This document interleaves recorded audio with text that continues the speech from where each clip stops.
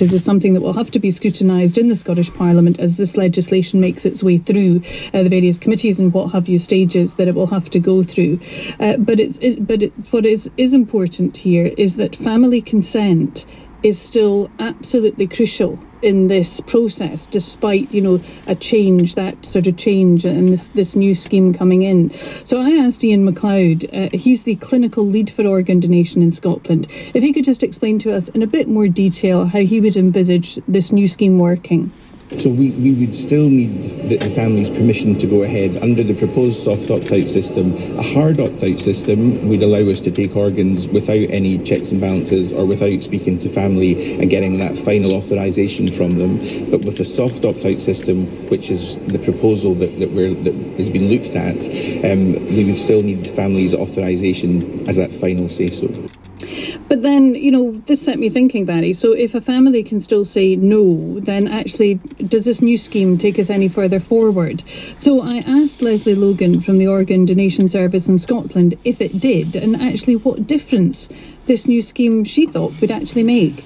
If someone has made no decision in life, we would have a conversation with the family, which is because they have not made a decision, it is assumed or presumed that authorisation would be given. So it would be our intention to continue with this. Families, of course, at that point may raise an objection. And so it's a different starting point to that conversation, is what this legislation is going to give you? Yes, it is. It is a different starting point. So, when does the Scottish Government think this new scheme will start? Well, they're hopeful that they will get this legis- legislation through within the next four years. Um, and they say that this is part of a range of measures. And, and very much what they're looking at here, I think, is to get the public thinking about this seriously um, and not just when somebody in their own family perhaps would need a would need a new kidney or something like that. It's, it's a part of a range of measures really to get us all thinking about what our position on this is. Aileen Campbell is the Public Health Minister. This is about making sure that families are engaged with and also ensuring that conversations happen across the country so that people understand that it's really important to uh, ensure that their intentions are known and understood. And Michael Hanlon today was saying, you know, as far as he's concerned, he's been campaigning for this for a long time, as you can understand in his position. And he was saying, look, you know, let's face it, once you've gone, you've gone. Your organs are no good to you. You know, give that gift of life to someone else. Aileen, thanks for that. That's our reporter, Aileen Clark. Now let's catch up with the travel. Well, things starting to look a bit better at Edinburgh Airport after this morning's power failure. They're starting to clear out the backlog, but passengers are still advised to just make sure they check in on time. A fault on a train means the quarter past five service between Glasgow Queen Street, which was meant to be due into Edinburgh at ten past six, has been cancelled. Normal rush hour traffic on most major routes on the roads and the A986 in Orkney is closed due to a police incident It's expected to remain closed for some time. That's BBC Radio Scotland Travel. And you're listening to News Drive with Barry Stewart. The time now is 5.33. 92 to 95 FM, 810 medium wave and on digital. BBC Radio Scotland. A little bit later than usual, it's time for news and sport for the borders with Angela Soavi. A five-year regeneration scheme is being launched in Jedburgh. The £1.3 million conservation area regeneration scheme is funded by Historic Environment Scotland, Scottish Borders Council and the private sector, as well as offering funding for building repairs in the town centre. There will also be training, heritage and educational activities. A full-time project officer will be appointed. Similar schemes already operate in Kelso and Selkirk. A man's appeared in private at Jedburgh Sheriff Court in connection with an incident which saw Ettrickbridge sealed off by police last week. David Reid is charged with malicious mischief by damaging property belonging to another at a house in the village, as well as threatening or abusive behaviour. Police, ambulance and fire services were called out on Thursday evening when access routes were blocked off during an alleged standoff. 39-year-old Reid of no fixed abode made no plea. The case was continued for further examination and he was remanded in custody. Two Borders huntsmen accused of breaching Scotland's fox hunting legislation will receive their verdicts tomorrow. Father and son, 67 year old John Clive Richardson and 24 year old Johnny Riley, both members of the Jed Forest Hunt, denied deliberately hunting a fox with dogs on farmland near Jedburgh. Robin Wiley reports. Following a lengthy trial at Jedburgh Sheriff Court, the Crown and defence lawyers concluded their closing submissions yesterday afternoon. Deputy Fiscal Fiona Caldwell insisted that the pair, who are based at Abbotrule near Bonchester Bridge, broke the law at Townfoot Hill on February the 16th last year. She pointed to video evidence of two investigators from the League Against Cruel Sports who secretly filmed two incidents where a fox was pursued by 34 hounds. The fiscal said it hadn't been disputed that the fox was killed that day, despite the final act not being captured on video, although the defence had contested that it was shot by a waiting gunman waiting in a gully, which the law permits. But Ms Caldwell said no shots were heard on the video at the time.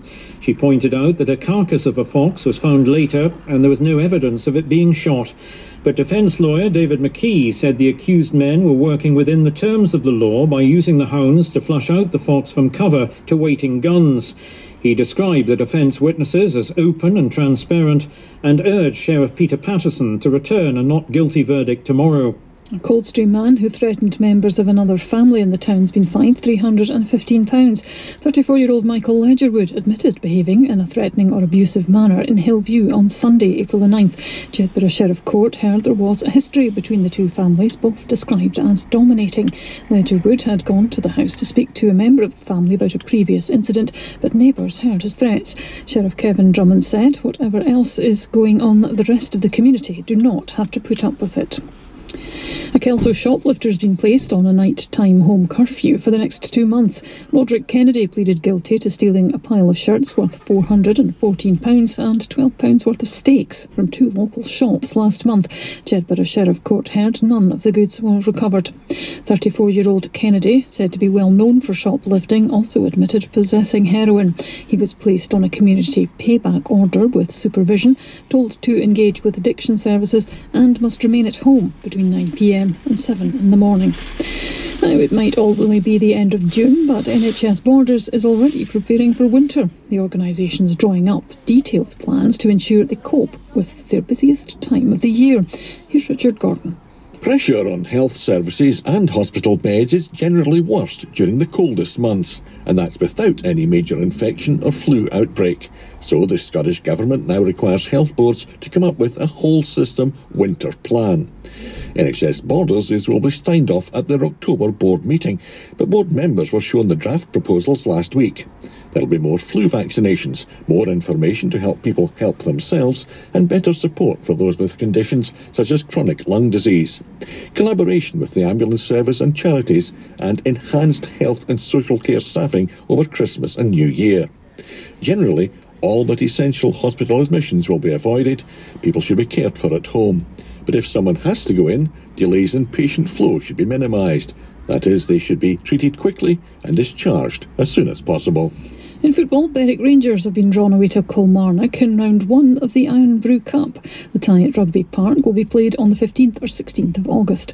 Meanwhile, the Wee Gers officially get their pre-season activities underway with an open day on Saturday. Proceedings kick off with a training session at 11am, then a match between the first team and the under-20s at 2.